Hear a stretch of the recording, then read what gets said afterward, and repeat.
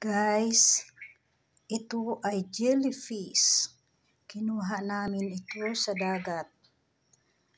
Hihiwain ko yan at gagawin kong kinilaw.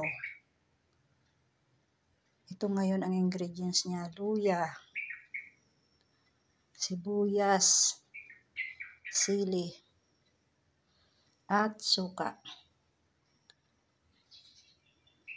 Yan guys. Guys, katunayan ang kulay talaga nito ay white, ang jellyfish nang galing sa dagat.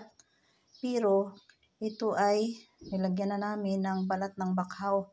Kinayod, hinalo, nilamas at binabad namin magdamag.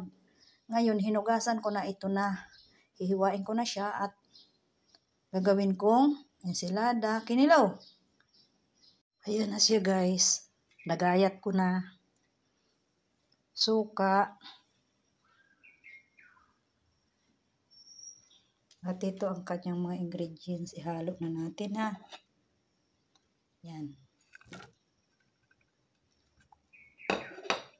Lagay na rin natin ang suka.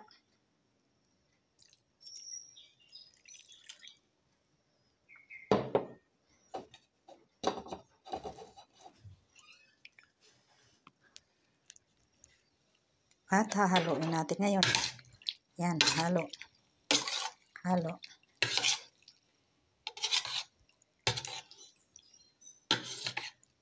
Templado na siya.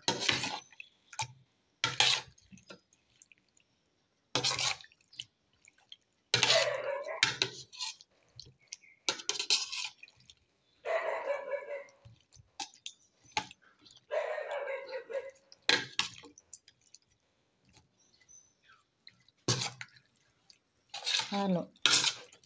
Templado na siya. Ayan na ang kinilaw na jellyfish. Jellyfish. Kinilaw na jellyfish as in masarap.